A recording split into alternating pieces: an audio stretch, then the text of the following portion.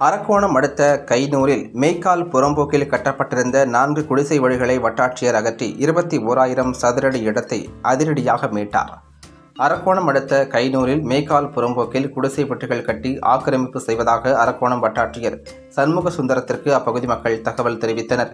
அதைத் தொடர்ந்து வட்டாட்சியர் சண்முக சுந்தரம் ஏஎஸ்பி யாதவ் கிரீஷ் அசோக் தலைமையில் வருவாய்த்துறையினர் நாற்பத்து ஐந்து பேர் மற்றும் காவல்துறையினர் எழுபது பேர் இணைந்து மேக்கால் புறம்போக்கு பகுதியில் ஆக்கிரமித்து கட்டப்பட்டிருந்த நான்கு குடிசை வீடுகளை அகற்றி இருபத்தி ஓராயிரம் சதுரடி இடத்தை மீட்டனர். அப்போது ஆக்கிரமிப்பு இடத்தில் வீடு கட்டியிருந்த உரிமையாளர்கள் வருவாய்த்துறையினரிடம் வாக்குவாதத்தில் ஈடுபட்டதால் சில நிமிடங்கள் பரபரப்பு ஏற்பட்டது.